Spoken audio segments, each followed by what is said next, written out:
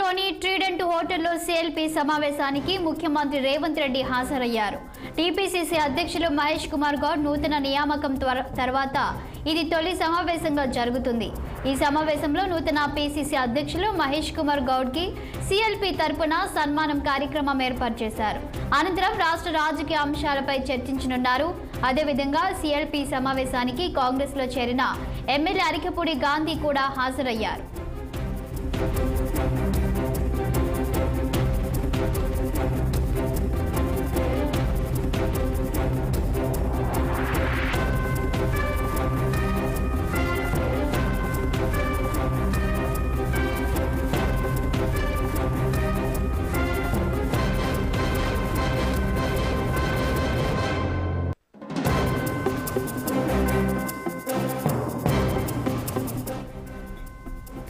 మాదాపూర్లోని ట్రీడెంట్ హోటల్లో సిఎల్పి సమావేశానికి ముఖ్యమంత్రి రేవంత్ రెడ్డి హాజరయ్యారు.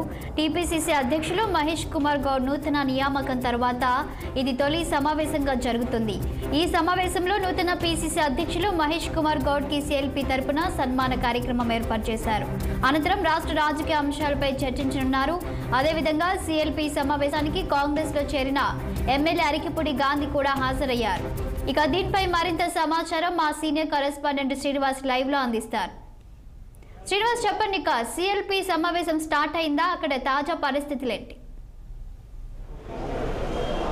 కొద్దిసేపటి క్రితమే సీఎం రేవంత్ రెడ్డి అధ్యక్షతన హోటల్ ప్రెసిడెంట్లో కూడా సిఎల్పి సమావేశం ప్రారంభమైంది. ఈ సమావేశానికి ఏసీసీ అంటే కాంగ్రెస్ తెలంగాణ వ్యవహారాల ఇన్ఛార్జి దీపదాస మున్షితో పాటు ఏసీసీ తెలంగాణ ఇన్ఛార్జి కార్యదర్శి విశ్వనాథం అండ్ విష్ణునాథన్ కూడా హాజరయ్యారు. మరొకవైపు ఇటు మంత్రులు అదేవిధంగా ఎమ్మెల్యేలు ఎంపీలు ప్రత్యేక ఆహ్వానితులుగా హాజరైన పరిస్థితి. సో ఈ నేపథ్యంలో కూడా ముందుగా నూతనంగా ఎన్నికైనటువంటి పిసిసి అధ్యక్షుడు మహేష్ కుమార్ గౌడ్కి సన్మాన కార్యక్రమం జరుగుతుంది. అయితే ఈ సన్మాన కార్యక్రమంలో ఇప్పటికే కూడా సిఎల్పీలో తీర్మానం చేసి ఏఐసిసికి ధన్యవాద తీర్మానంగా పంపించనున్నారు.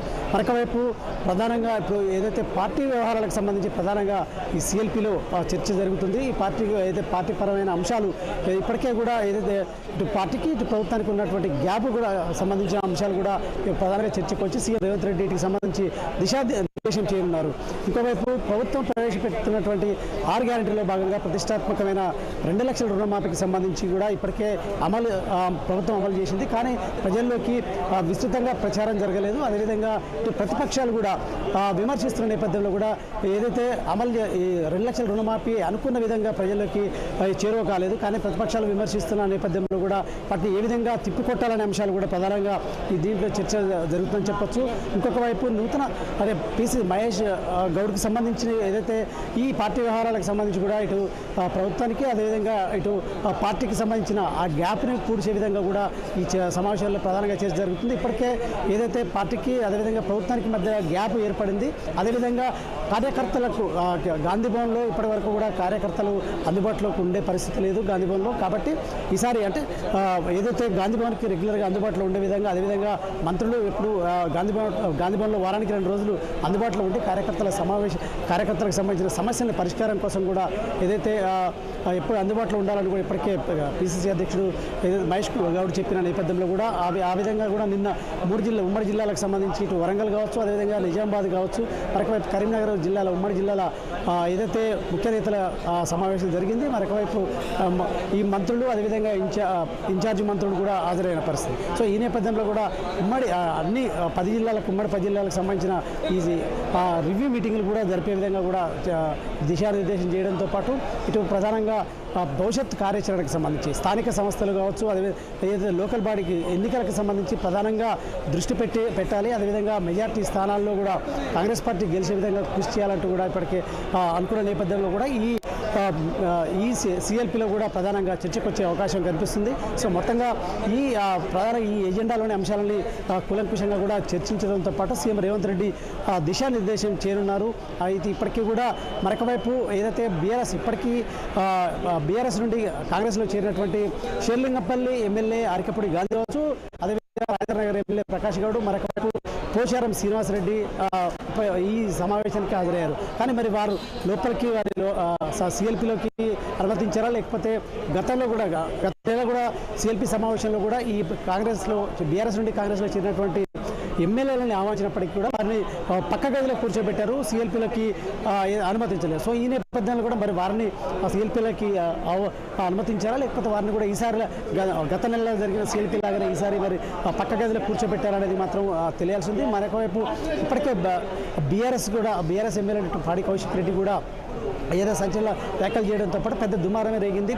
ఏదైతే పరస్పర దాడులు కూడా జరిగిన పరిస్థితి ఏదైతే కాంగ్రెస్ పార్టీలో ఇది ఆర్కేపూడి గాంధీ అంశానికి సంబంధించి నేను బీఆర్ఎస్ బీఆర్ఎస్లో ఉన్నాను. అదేవిధంగా కాంగ్రెస్లో కండవ కప్పుకోలేదని చెప్పిన నేపథ్యంలో కూడా అది పెద్ద రాజకీయ సంచలనంగా మారిన నేపథ్యంలో కూడా మరి అరకపూడి గాంధీ ఈ సమావేశానికి హాజరయ్యారు. అరకే అదేవిధంగా ఈ బీఆర్ఎస్ నుండి కాంగ్రెస్లో చేరినటువంటి ఎమ్మెల్యేలు హాజరు కావడంతో కూడా మరి ఏ విధంగా ఈ దీనికి సంబంధించి ప్రతిపక్షాలు స్పందిస్తాయనేది కూడా చూడాల్సి ఉంది ప్రధానంగా మొత్తంగా అయితే చూసినట్టయితే కూడా సిఎల్పి సమావేశం అయితే జరుగుతుంది. ఒక అరగ అరగంట ముందు నుండి కూడా ఈ సమావేశం జరుగుతుందని చెప్పొచ్చు. శాలిని అయితే శ్రీనివాస్ ఈ సిఎల్పి సమావేశానికి అరికపూడి గాంధీ కూడా హాజరైనట్లు తెలుస్తుంది. సో దీనికి సంబంధించిన అప్డేట్స్ ఏంటి? సిఎల్పి సమావేశంలో కూడా ఆయన పాల్గొనే అవకాశం ఉందంటారా? ఈ సమావేశానికి మొత్తంగా అందరూ ఎమ్మెల్యేలు మంత్రులు ఎమ్మెల్సీలు కూడా హాజరవుతున్నట్టు తెలుస్తుంది. అయితే ఇంకా ఎవరైనా గైహాజరు అయ్యే అవకాశం కనిపిస్తున్నట్టు తెలుస్తుందా? ఇక పార్టీ పరంగా కూడా ముఖ్యంగా కీలకంగా చర్చించే అంశాలు ఏమున్నాయి? ఆ, అరకెప్పుడు గాంధీకి సంబంధించి కూడా సిఎల్పి సమావేశానికి హాజరయ్యారు.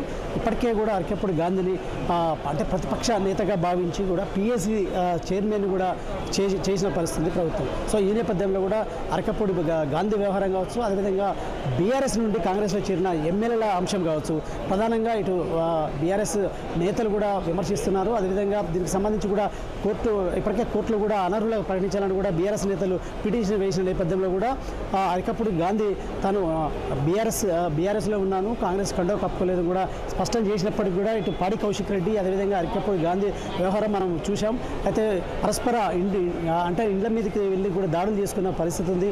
సో ఈ నేపథ్యంలో మరి అరకప్పుడు గాంధీ ఈ సిఎల్పి సమావేశానికి అయితే హాజరయ్యారు. మరొకవైపు బీఆర్ఎస్ నుండి కాంగ్రెస్లో చేరినటువంటి పోచారం శ్రీనివాసరెడ్డి కూడా హాజరయ్యారు. మరొకవైపు స్టేషన్ గన్పూర్ ఎమ్మెల్యే కడియం శ్రీహరి కూడా బీఆర్ఎస్ నుండి కాంగ్రెస్లో చేరారు. ఆయన కూడా హాజరయ్యారు. మరొకవైపు ప్రకాష్ గౌడ్ కూడా ఏదైతే రాజేంద్ర నగర్ ఎమ్మెల్యే ప్రకాష్ గౌడ్ కూడా హాజరైన పరిస్థితి. సో ఈ నేపథ్యంలో కూడా మరి ఈ అంశాలు ఏ విధంగా ఉండదు అని చూడాలి. మరొకవైపు పార్టీ ప్రధానంగా ఇప్పటికే పార్టీ ఏదైతే గ్యాప్ ఉన్న నేపథ్యం ఇటు ప్రభుత్వానికి కావచ్చు ఇటు పార్టీకి కావచ్చు గ్యాప్ ఉంది. ఈ నేపథ్యంలో కూడా ఈ గ్యాప్ని ఏ విధంగా పూడ్చాలి అంశాలపై కూడా సీఎం రేవంత్ రెడ్డి దిశానిర్దేశం చేస్తారు. మరొక వైపు అంటే ప్రధానంగా స్థానిక సంస్థలు ఈ లోకల్ బాడీ ఎన్నికల్లో కూడా సీరియస్గా ఫోకస్ పెట్టాలని కూడా కాంగ్రెస్ కాంగ్రెస్ భావిస్తుంది. ఎందుకంటే ఇంతకు అంటే సీఎం రేవంత్ రెడ్డిగా పిసిసి అధ్యక్షుడిగా కూడా కొనసాగిన నేపథ్యంలో కూడా ఏఐసిసి ఏదైతే నూతన పిసిసి అధ్యక్షుడిగా మహేష్ గౌడ్ని నియమించింది ఈ నేపథ్యంలో కూడా ఈ మొదటిసారి అంటే కొత్త పిసిసి అధ్యక్షుడిగా ఎన్నికైన తర్వాత మొదటి ఫస్ట్ టైం ఈ సిఎల్పి సమావేశం జరుగుతున్న నేపథ్యంలో కూడా ఈ ప- ప్రభుత్వం ఇటు పార్టీకి సంబంధించిన అంశాలు ప్రధానంగా చర్చించి ఏదైతే సమన్వయంతో కూడా కలిసి పనిచేసే విధంగా కూడా సీఎం రేవంత్ రెడ్డి దిశానిర్దేశం చేయనున్నారు. ఇంకొక వైపు ఏదైతే ఇటు ఇప్పటికే చెప్తూ చెప్పిన అంశం ఏదైతే కష్టపడ్డ వారికి పార్టీలో కూడా తగిన ఈ లోకల్ బాడీ ఎన్నికల్లో కూడా తగిన గుర్తింపు ఇవ్వడంతో పాటు పార్టీ కమిటీలు గ్రామ స్థాయి నుండి కూడా జిల్లా స్థాయి వరకు కూడా కమిటీల్లో కూడా కష్టపడ్డ వారికి అవకాశం కల్పించాలని కూడా భావిస్తుంది. అదేవిధంగా కూడా పార్టీని విస్తృతంగా ప్రచారం చేయడంతో పాటు లోకల్ బాడీ ఎన్నికల్లో మెజార్టీ స్థానాలు గెలవాలని కూడా కాంగ్రెస్ భావిస్తున్న నేపథ్యంలో కూడా ఈ అంశాలపై కూడా కూలంకుషంగా చర్చించి ఈ సిఎల్పి సమావేశంలో ఈ ఏదైతే ఈ మంత్రులకు అదేవిధంగా ఇటు ఎమ్మెల్యేలకు అదేవిధంగా ఇటు సీఎం పిసిసి అధ్యక్షుడు పిసిసి మహేష్ గౌడ్కి దిశానిర్దేశం చేస్తారు సీఎం రేవంత్ రెడ్డి. అయితే శ్రీనివాస్ చివరిగా చూసినట్లయితే అరికపూడి గాంధీ మొన్నటి వరకు జరిగిన ఆ, గొడవల్లో కూడా ఒకవైపు కాంగ్రెస్ నేతలు ఏం చెప్పారంటే బీఆర్ఎస్లో ఉన్న వ్యక్తి అనే చెప్పారు. మరి ఇప్పుడు సడన్గా సిఎల్పి సమావేశంలో ప్రత్యక్షం అవడం అంటే దీన్ని ఏ విధంగా చూడొచ్చు అంటారు?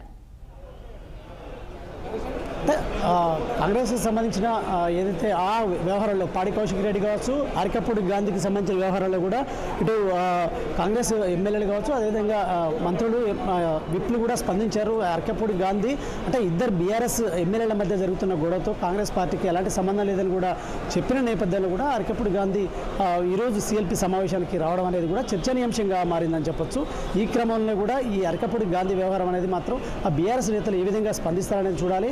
ఆ, ఇంకొక వైపు ఇప్పటికే ఈ ఏదైతే ఎమ్మెల్యేల ఫిరాయింపులకు సంబంధించి కూడా కోర్టులో ఇప్పటికే నడుస్తున్న నేపథ్యంలో కూడా ఆ కోర్టు కూడా స్పీకర్కి నాలుగు వారాల్లో ఏదో నిర్ణయం తీసుకోవాలని కూడా చెప్పిన నేపథ్యంలో మరి ఏ విధంగా ముందుకు వెళ్తారు? అదేవిధంగా ఈ ఎరకపూడి గాంధీ వ్యవహార గాంధీ వ్యవహారంలో బీఆర్ఎస్ నేతలు ఏ విధంగా స్పందిస్తారనే అంశాన్ని మాత్రం చూడాల్సి ఉంది. శరణ్. Thank you Srinivas.